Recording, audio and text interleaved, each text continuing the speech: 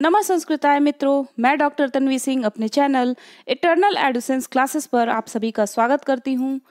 मेरे सभी संस्कृत मित्रों से अनुरोध है कि मेरे जा, मेरे चैनल को ज़्यादा से ज़्यादा सब्सक्राइब करें लाइक करें शेयर करें, ज़्यादा से ज़्यादा लोगों तक मेरे वीडियोस को पहुँचाएँ।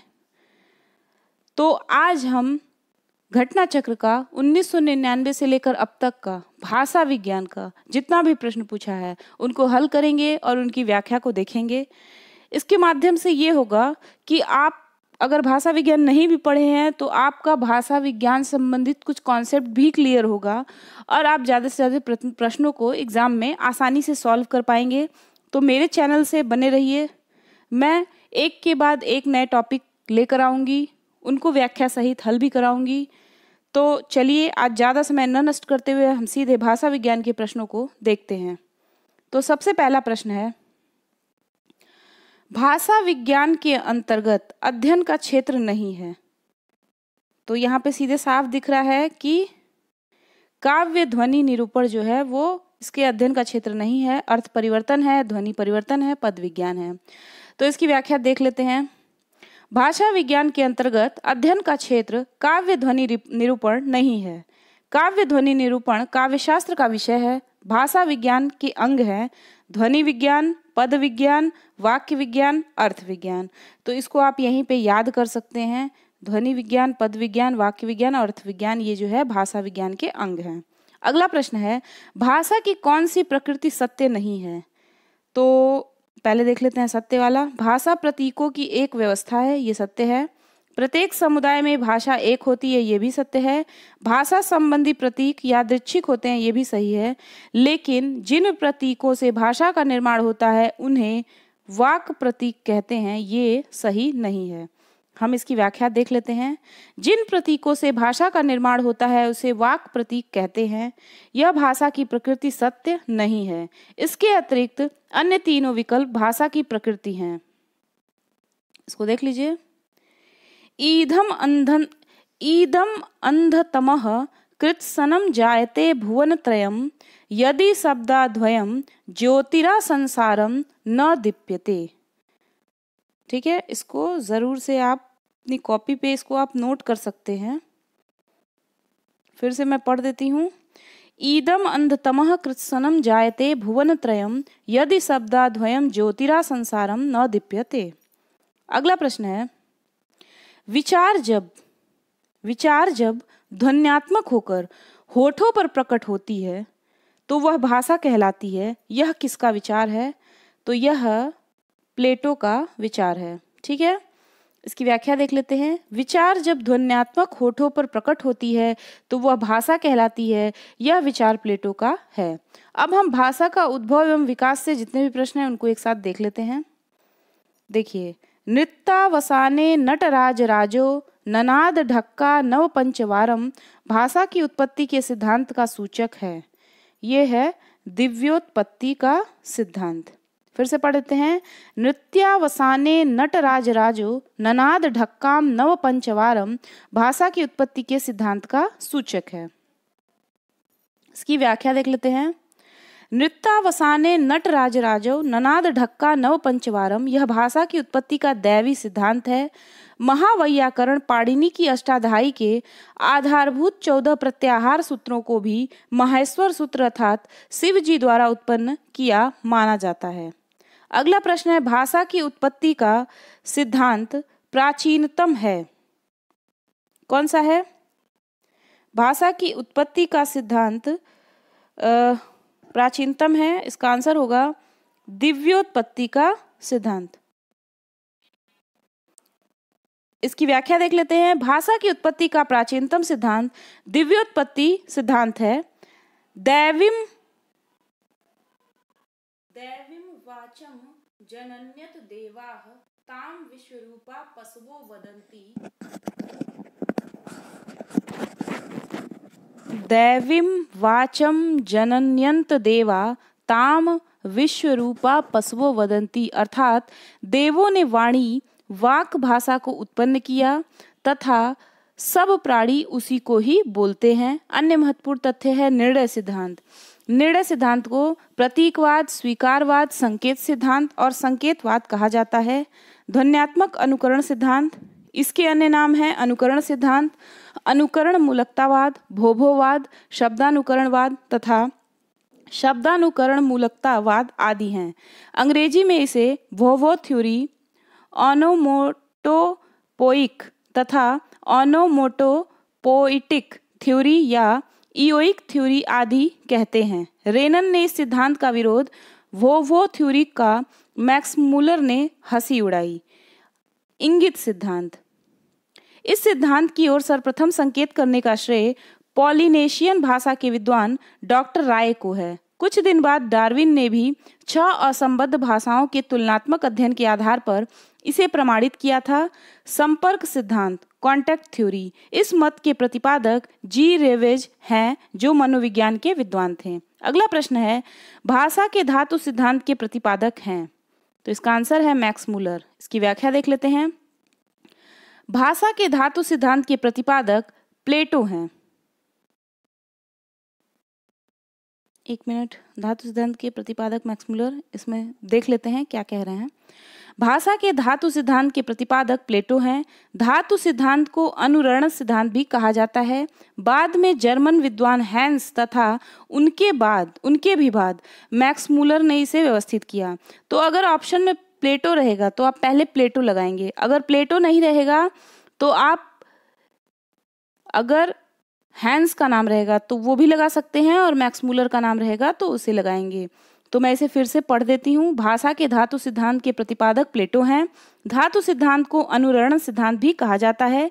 बाद में जर्मन विद्वान हैस तथा उनके भी बाद मैक्स मूलर ने इसे व्यवस्थित किया। इसी को डिंग डोंग वाद या रणन सिद्धांत भी कहा जाता है। ये बहुत इंपॉर्टेंट है। पूछ देता है कि डिंग डोंग थ्योरी किसका है? ठीक है।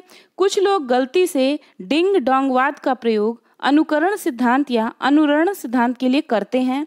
धातु सिद्धांत का डिंग डांगवाद नाम का आधार है। इस सिद्धांत के अनुसार भाषा मनुष्य की स्वाभाविक प्रतिभा की देन है। अगला प्रश्न है, यो हे हो सिद्धांत का संबंध है भाषोत्पत्ति से। इसकी व्याख्या देख लेते हैं। यो हे हो सिद्धांत का संबंध भाषोत्पत्ति से है। श्रम ध्वनि सिद्धांत यो हे हो थ्योरी, हिंदी में इसे श्रम परिहरण मूलकतावाद भी कहा जाता है। न्यावर नामक प्रसिद्ध विद्वान इस सिद्धांत के प्रतिपादक हैं। तो पूछ देता है कि हो हो थ्योरी के प्रतिपादक कौन है तो इनका नाम देख लीजिए, न्यावर है।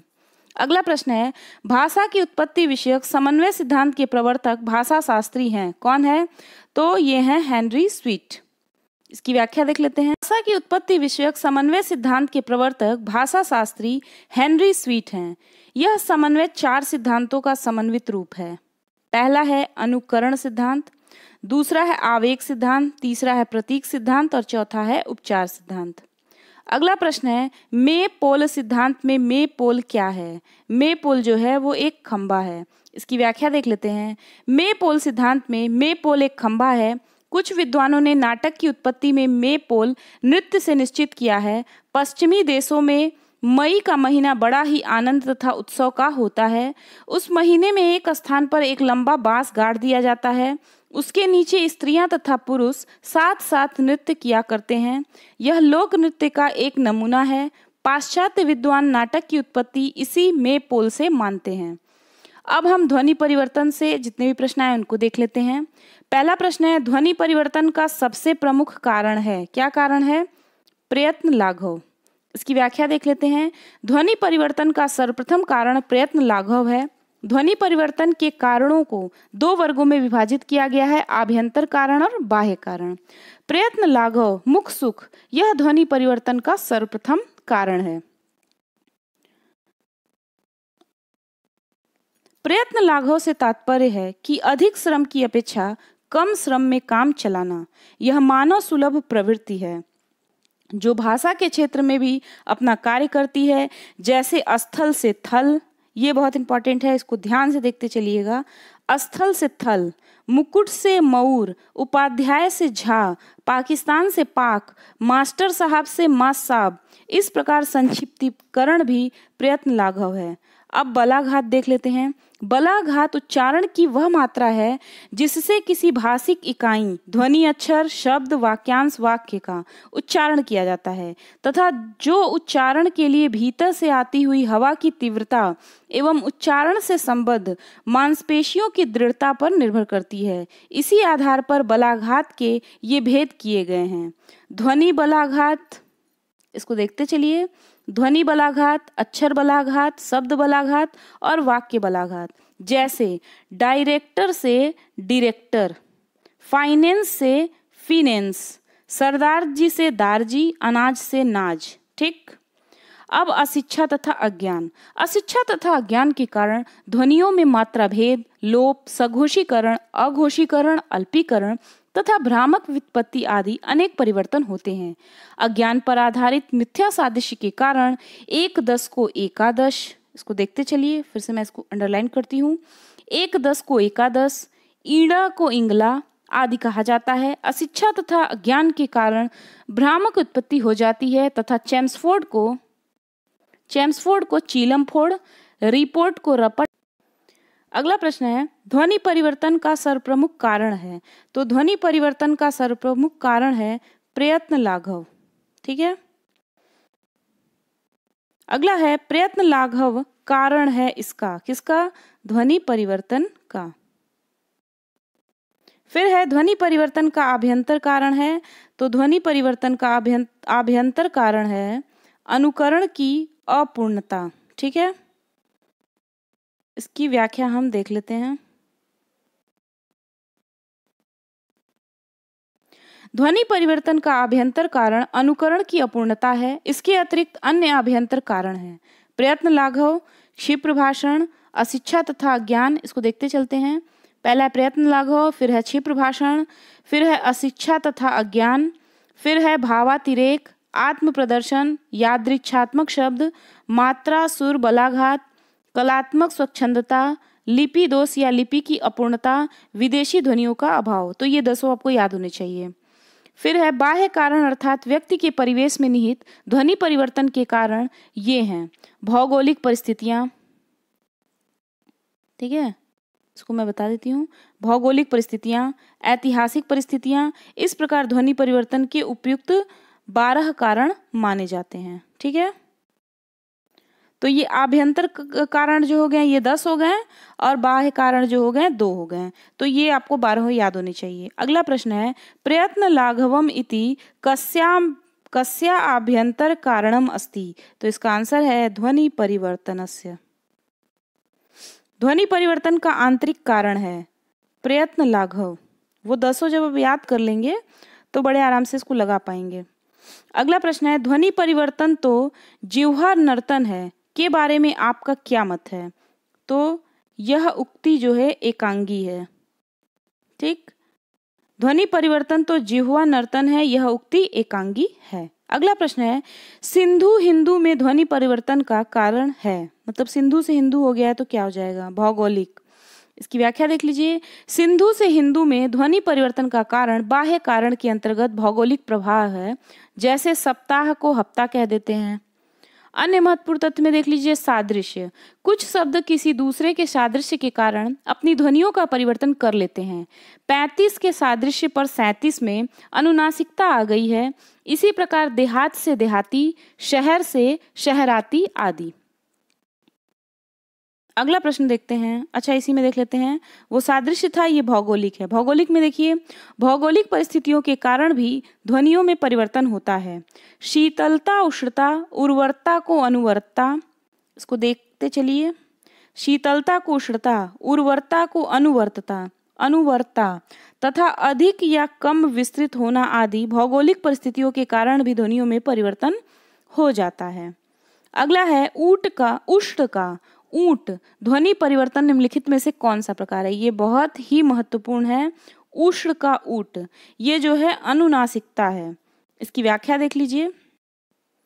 ऊट का, उष्ण का ऊट में परिवर्तन अनुनासिकता है। उष्ण शब्द का अर्थ भी ऋग्वेद की प्राचीन ऋचाओं में भैंसा है, किंतु बाद में इसका व्यवहार ऊँट के लिए किया जाने लगा। अन्य महत्वपूर्ण तथ्य, अनुनासिकता के अन्य उदाहरण है चूच का चोंच, कंपन का कापना, चंद्र का चाँद, भ्रू का भ्रव श्वास का सांप, सर्प का सांप।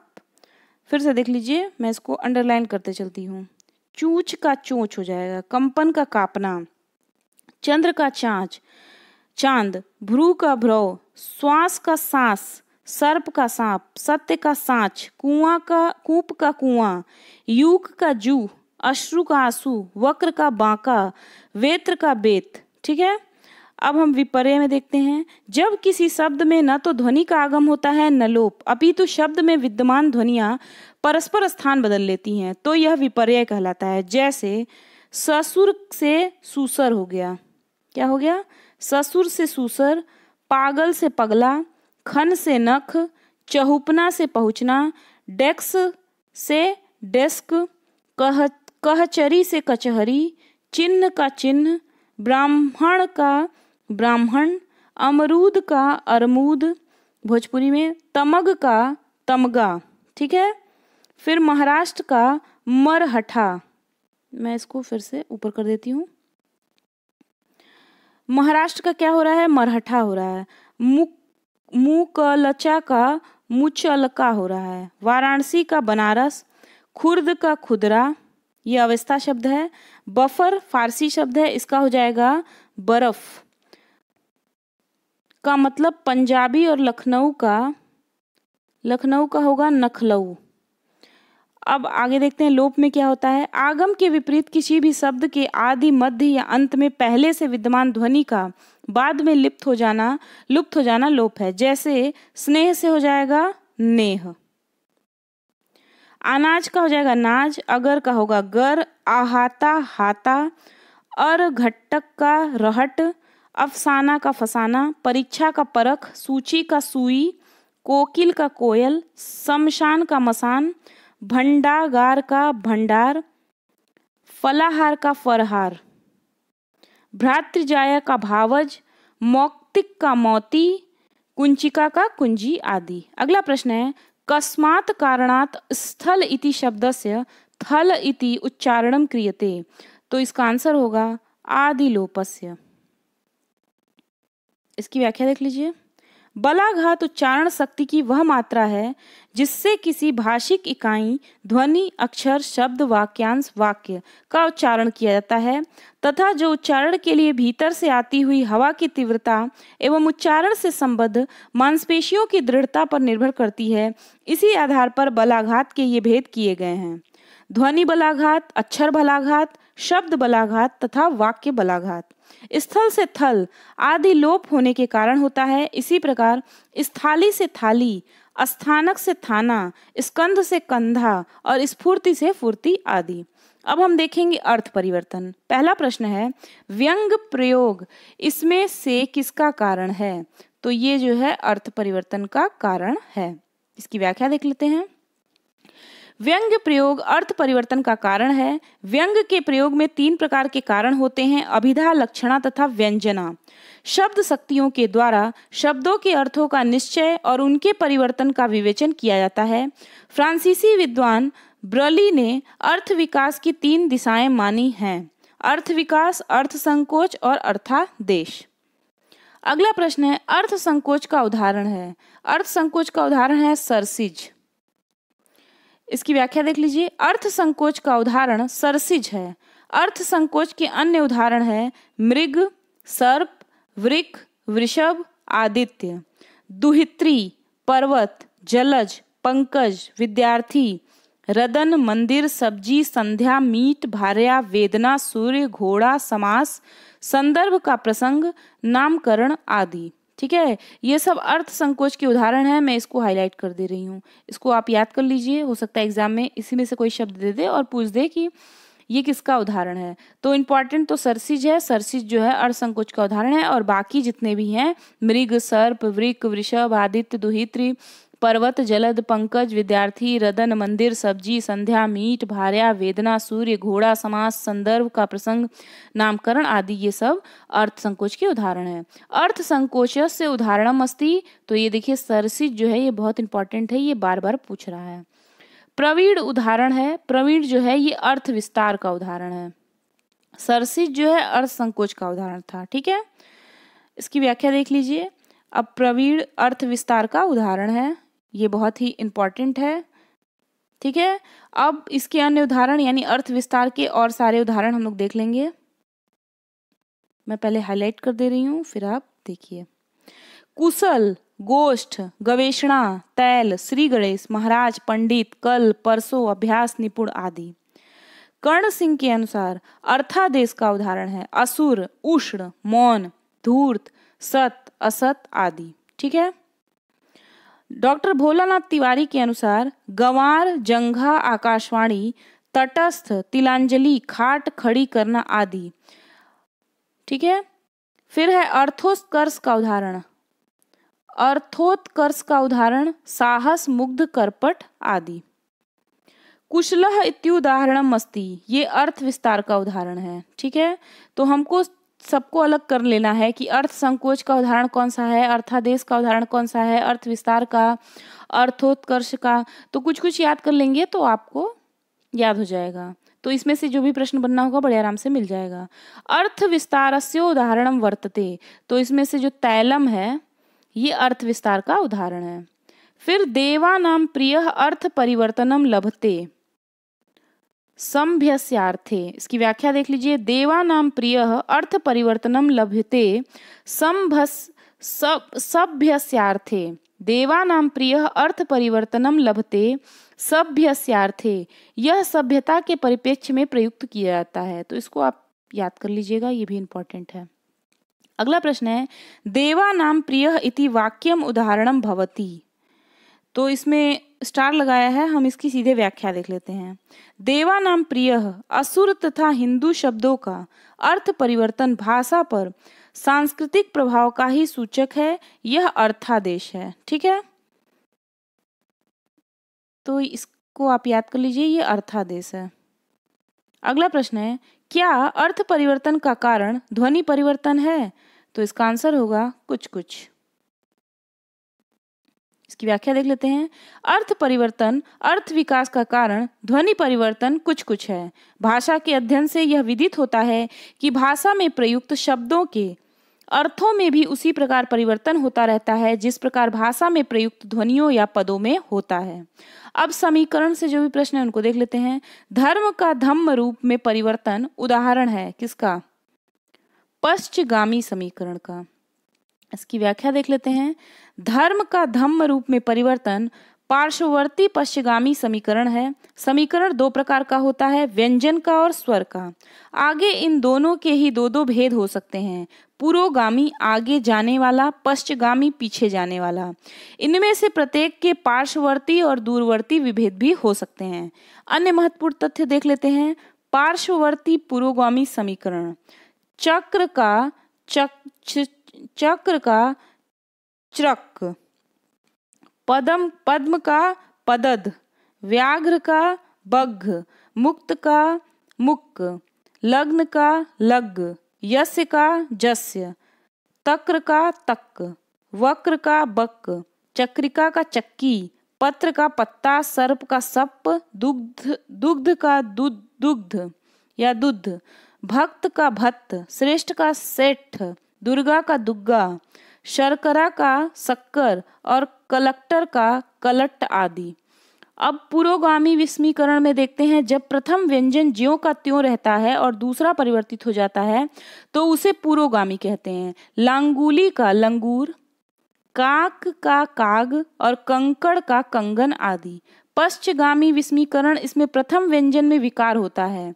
नवनीत का लयनु, दरिद्र का दलिद्दर, मुकुट का मऊर, नुपुर का नेऊर और मुकुल का बऊर। ठीक है? धर्म का धम्म होना इसका उदाहरण है। ये समीकरण का उदाहरण है। अगला प्रश्न है। आकृति मूलक वर्गीकरण से जो प्रश्न है, उनको हम देख लेते हैं। भाषाओं का आकृति मूलक वर्गीकरण विषयक कौन सा विकल्प सही है? तो ये विकल्प सही है। अयोगात्मक अश्लिष्ट श्लिष्ट प्रश्लिष्ट अयोगात्मक अश्लिष्ट श्लिष्ट प्रश्लिष्ट इसकी व्याख्या देख लेते हैं। भाषाओं का आकृति मूलक वर्गीकरण के आधार पर भाषाओं को सर्वप्रथम दो भागों में विभक्त किया गया है। अयोगात्मक, योगात्मक। अर्थ तत्व प्रकृति के साथ रूप तत्व प्रत्यय के योग की शैली के आधार पर योगात्मक भाषाओं को पुनः तीन भागों में विभक्त किया जाता है। अश्लिष्ट या प्रत्यय प्रधान, दूसरा है श्लिष्ट या विभक्ति प्रधान और तीसरा है प्रश्लिष्ट या समास प्रधान। इस प्रकार अयोगात्मक का एक तथा योगात्मक के तीन भेदों को जोड़कर आकृति मूलक वर्गीकरण के आधार पर विश्व की भाषाओं को कुल चार वर्गों में विभाजित किया जाता है। ठीक है? अयोगात्मक, इसको निर्वय व्यास प्रधान अश्लिष्ट प्रत्यय प्रधान श्लिष्ट विभक्ति प्रधान और प्रश्लिष्ट, इसको समास प्रधान तो अयोगात्मक, अश्लिष्ट, श्लिष्ट और प्रश्लिष्ट। अगला प्रश्न है, भाषाया आकृति मूल के वर्गीकरण न कथ्यते। तो ध्वन्यात्मक जो है, नहीं है, रूपात्मक, पदात्मक और रचनात्मक है, व्याख्या देख लेते हैं। भाषा के आकृति मूलक वर्गीकरण में ध्वन्यात्मक वर्णित नहीं है। रूप तत्व के कारण आकृति मूलक वर्गीकरण का दूसरा नाम रूपात्मक वर्गीकरण है। पद रचना तथा वाक्य रचना भी आकृति के अंतर्गत है। अतः इसी वर्गीकरण को पदात्मक या वाक्य मूलक भी कह दिया जाता है। अगला प्रश्न है, संस्कृत भाषा है। संस्कृत भाषा जो है, वो श्लिष्ट योगात्मिका भाषा है, ठीक? इसकी व्याख्या देख लेते हैं। संस्कृत भाषा श्लिष्ट योगात्मिका है श्लिष्ट योगात्मक के दो भेद हैं। पहला है बहिर्मुखी और दूसरा है अंतर्मुखी। बहिर्मुखी के दो भेद हैं, संयोगात्मक संस्कृत और वियोगात्मक है हिंदी। तो ये भी पूछ सकता है कि हिंदी किसमें आएगा, संस्कृत किसमें आएगा। अक्सर लोग हिंदी और संस्कृत को एक ही में डाल देते हैं। तो बहिर्मुखी में आएगा संस्कृत और हिंदी भी। लेकिन संस्कृत जो है संयोगात्मक है और हिंदी जो है वो वियोगात्मक है। ये श्लिष्ट योगात्मिका है, ठीक है? अंतर्मुखी के दो भेद हैं, संयोगात्मक, इसमें अरबी आएगा और वियोगात्मक में हिब्रू आएगा, ठीक है? अब अगला प्रश्न देख लेते हैं। अच्छा इसी में देख रहे हैं हम, व्याख्या में ही। प्रश्लिष्ट योगात्मक के दो भेद हैं, पूर्व प्रश्लिष्ट चेरोकी तथा ग्रीनलैंड की भाषा और आंशिक प्रश्लिष्ट बास्क भाषा आदि। अश्लिष्ट योगात्मक के पाँच भेद होते हैं। पहला है, पुरह प्रत्यय संयोगी दक्षिणी अफ्रीकी के बंतु भाषा परिवार की भाषाएँ, इनका उदाहरण है। दूसरा है, पर प्रत्यय संयोगी। इस वर्ग की भाषाओं में यूराल, अल्ताई तथा द्रविड़ भाषा परिवार आते हैं। तीसरा है मध्य प्रत्यय संयोगी। भारत की मुंडा भाषा परिवार की संथाली भाषा इसी वर्ग की है। ये इंपॉर्टेंट है। मध्य प्रत्यय संयोगी भारत की मुंडा भाषा परिवार की संथाली भाषा इसी वर्ग की है। फिर है पूर्वांत प्रत्यय संयोगी न्यू गिनी द्वीप की मफोर भाषा इसी परिवार की है। पांचवा है सर्व प्रत्यय संयोगी मलय शाखा की भाषाएँ। इसका उदाहरण है। फिर आ गया संस्कृत है। संस्कृत क्या है? श्लिष्ट योगात्मक। इसकी व्याख्या हम देख चुके हैं। अब हम लोग भारोपीय भाषा से जो भी प्रश्न है, उनको देख लेते हैं। मध्यकालीन भारतीय आर्य भाषाओं में संगणित है। ग्रीक। व्याख्या देख लेते हैं। मध्यकालीन भारतीय आर्य भाषाओं में ग्रीक भाषा संगणित नहीं है। संस्कृत, ग्रीक इत्यादि प्राचीन भाषाओं के अंतर्गत आते हैं। मध्यकालीन आर्य भाषा नास्ती तो इसका आंसर है बांग्ला। मध्यकालीन आर्य भाषा बांग्ला नहीं है। बंगला भाषा का वर्णन आधुनिक भारतीय आर्य भाषा के अंतर्गत है। आधुनिक भारतीय आर्य भाषाएँ निम्न हैं। बिहारी, बंगला, उड़िया, असमिया, पूर्वी हिंदी, मराठी, पहाड़ी, सिंधी लहदा, पंजाबी, पश्चिमी हिंदी, गुजराती और राजस्थानी। अगला प्रश्न है, प्राचीनतमा भारतीय आर्य भाषा अस्ति? तो ये है वैदिक संस्कृतम। इसकी व्याख्या देख लेते हैं। प्राचीनतम भारतीय आर्य भाषा वैदिक संस्कृत है। भारतीय उपशाखा की सर्वप्राचीन उपलब्ध भाषा वैदिक या वैदिक संस्कृत है। ईरानी उपशाखा की सर्वप्राचीन उपलब्ध भाषा अवस्था है। अगला प्रश्न है, लिखित भाषा स्वरूपेशु प्राचीनतम अस्ति? तो है इसका आंसर वैदिक संस्कृतम। इसकी व्याख्या देख लीजिए। लिखित भाषा के रूप में सर्व प्राचीन भाषा वैदिक या वैदिक संस्कृत है। विद्वानों का विचार है कि वैदिक भाषा का जो रूप हमें आज वैदिक साहित्य विशेषतः ऋग्वेद में मिलता है, वह तत्कालीन साहित्य की भाषा ही थी। अगला प्रश्न है, अपभ्रंश है। अपभ्रंश जो है, वो मध्यकालीन भारतीय आर्य भाषा है। इसका व्याख्या देख लेते हैं। अपभ्रंश मध्यकालीन भारतीय आर्य भाषा है। मध्यकालीन भारतीय आर्य भाषा की तृतीय प्राकृत काल की भाषा अपभ्रंश कहलाती है। अपभ्रंश शब्द का अर्थ होता है विकृत, भ्रष्ट या पतित। अपभ्रंश भाषा से ही आधुनिक भारतीय आर्य भाषाओं का विकास हुआ है। अगला प्रश्न है, तुखारी, तोखारी शाखा का पता कब लगा? तो इसका आंसर है बीसवीं शताब्दी में। इसकी व्याख्या देख लेते हैं। तुखारी का पता 20वीं शताब्दी में लगा। हित्ती शाखा की भांति ही तुखारी या तुखारी शाखा का पता भी 20वीं शताब्दी के आरंभ में ही लगा है। इसका क्षेत्र मध्य एशिया में सातवीं शताब्दी ईस्वी पूर्व से दूसरी शताब्दी ईस्वी पूर्व तक था। इसमें बहुत सी पांडुलिपि प्राप्त हुई है, जिनकी लिपि प्राचीन भारतीय लिपि है। अगला प्रश्न है अधोलिखितेशु का भाषा केंटुम वर्गे नहीं आयाती? तो इसका आंसर होगा रूसी। इसकी व्याख्या देख लेते हैं तो क्लियर हो जाएगा। तो इसकी व्याख्या देख लेते हैं। केंटुम वर्ग में रूसी भाषा नहीं आती है। भारतीय केंटुम वर्ग की मुख्य भाषाएँ निम्नवत हैं। तो मैं इसको हाईलाइट कर देती हूँ, इसको आप देख लीजिए। मैं इसको फिर पढ़ दूँगी। देखिए, लैटिन, फ्रेंच, लैटिन केंटुम, ग्रीक, हैक्टोन, इटालियन केंतो, इटालियन गैलिक, तोखारी, कंत फ्रेंच कैंथ, गैलिक क्यूड, जर्मनिक हुंद। भारतीय सतम वर्ग की मुख्य भाषाएँ हैं अवेस्ता सतम, फारसी सद, संस्कृत सतम, हिंदी सौ, रूसी स्तो, बल्गेरियन सतो, बाल्टिक जिम्स, जिम्स्तस, लिथुआनिया, इस मस्तास। इसको आप देख लीजिएगा, थोड़ा सा इसकी प्रोनाउंसिएशन में थोड़ा प्रॉब्लम है, लेकिन आप इसको देख सकते हैं। तो इसको कहीं एक जगह लिख के याद कर लीजिए, इसमें से एक प्रश्न बन ही जाता है। ईरानी भाषा से प्रश्न देखते हैं। अवेस्ता भाषा है। अवेस्ता कैसी भाषा है? ईरानी। इसकी व्याख्या देख लेते हैं। अवेस्ता भाषा ईरानी है। पूर्वी ईरानी या अवेस्ता, इसका प्रतिनिधि साहित्य अवेस्ता ग्रंथ ही है। यह पारसियों का धर्म ग्रंथ है, इसके रचयिता जरथ्रुष्ट हैं। इसकी भाषा को भी अवेस्ता कहते हैं। तो ये भी बहुत इंपॉर्टेंट है जरथ्रुष्ट अगला प्रश्न है अवेस्ता भारोपीय परिवार से कया शाखाया संबद्ध अस्ति? तो इसका आंसर है भारत ईरानी शाखा। इसकी व्याख्या देखते हैं।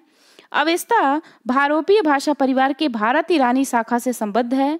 भारोपीय परिवार के सतम वर्ग की हिंदी ईरानी शाखा की एक उपशाखा ईरानी भाषा है। इसका क्षेत्र ईरान देश है। प्राचीन ईरानी भाषा अवेस्ता है। अब हम ध्वनि विज्ञान से प्रश्नों को देखेंगे। भाषा विज्ञान के अनुसार, स्वर के उच्चारण से संबद्ध चार प्रकारों में कौन सा प्रकार नहीं है? तो तनन नहीं है। बाकी हम इसको व्याख्या देखेंगे तो हमें चीज़ें क्लियर हो जाएँगी कि ये पूछ क्या रहा है।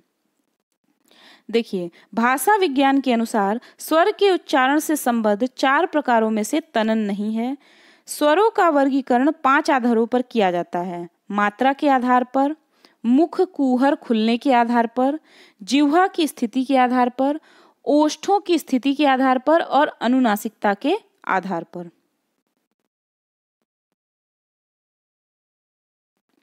अगला प्रश्न है, भाषा विज्ञान में अग्र स्वरों के उच्चारण में जिह्वा की चार कोटियों में कौन सी नहीं है? तो निम्नोच्च नहीं है। व्याख्या देखिए इसकी। भाषा विज्ञान में अग्र स्वरों के उच्चारण में जिह्वा की चार कोटियों में निम्नोच्च नहीं है। जिह्वा की उच्चतम स्थिति, जिह्वा की उच्च मध्य स्थिति, जिह्वा की निम्न मध्य स्थिति, जिह्वा की निम्नतम स्थिति। इस प्रकार हिंदी ध्वनियों में से ई ई तथा ए अग्र स्वर, आ उ तथा उ पश्च स्वर एवं अ मध्य स्वर कहलाते हैं। ई से संकेतित स्वर है। अग्र।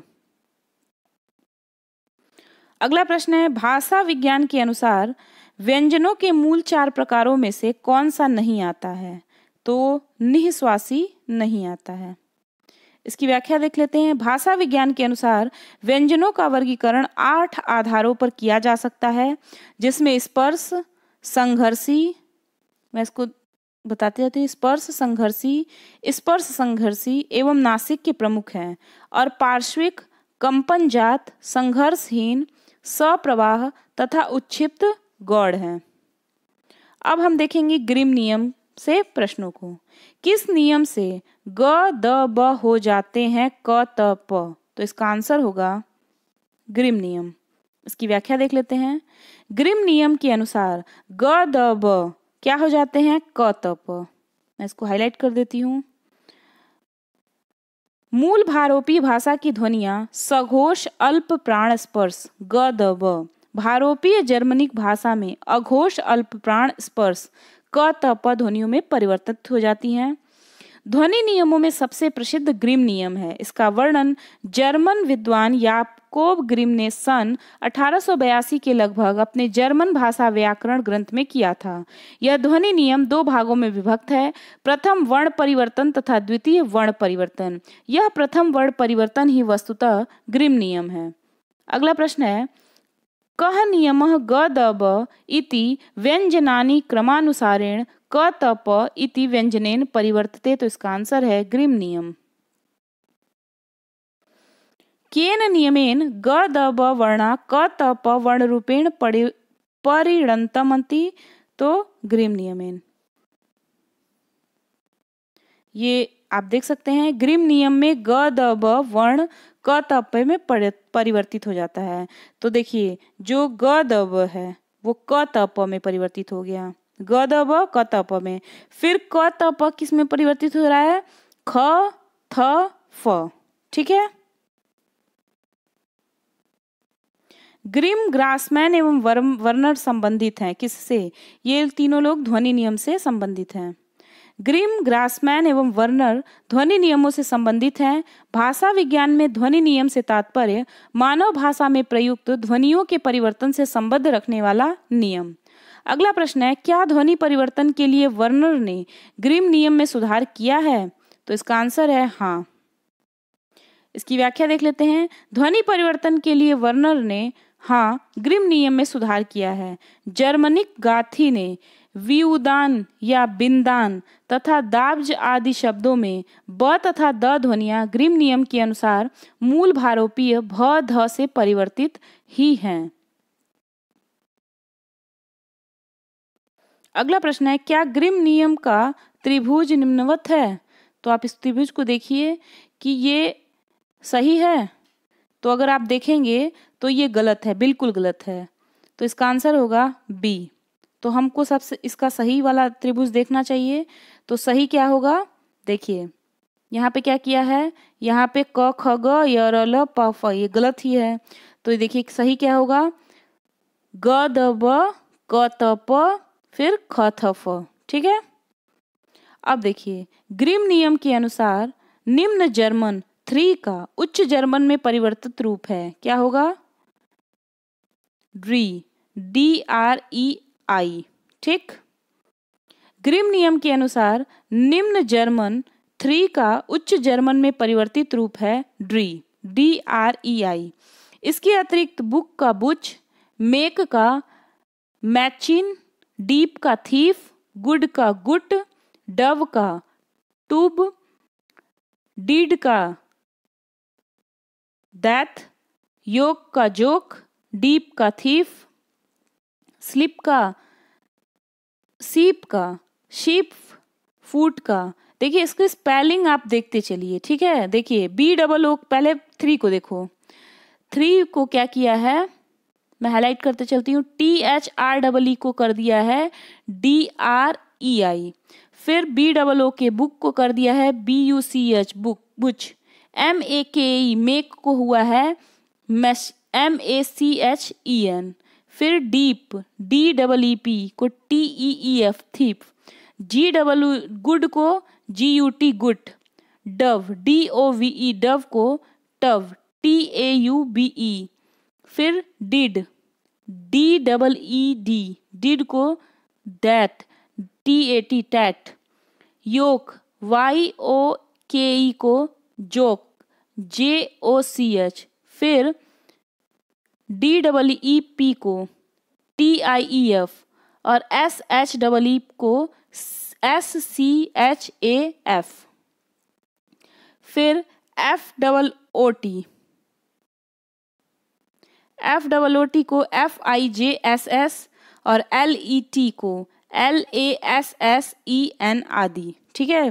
तो इसको आप लिख के याद कर लीजिएगा। अगला प्रश्न है वर्नर नियम। स्वराघात के कारण ध्वनि परिवर्तन होता है, इस नियम के प्रवर्तक हैं। वर्नर। व्याख्या देख लेते हैं। स्वराघात के कारण ध्वनि परिवर्तन होता है, इस नियम के प्रवर्तक वर्नर हैं। मूल भारोपीय संस्कृत तथा गाथी की तुलना के संदर्भ में वर्नर का सुझाव है, यदि मूल भारोपीय ध्वनि स से ठीक पहले उदात्त स्वर स्वराघात हो तभी वह गाथी में स्वराघात रहेगी, स रहेगी। अन्यथा उसका विकास गाथी में र के रूप में हो जाएगा। संस्कृत शब्द है इश्नुषा गाथी अंग्रेज़ी में होगा स्नोरू तो ये पूछ सकता है स्नुषा हो जाएगा स्नोरू ठीक?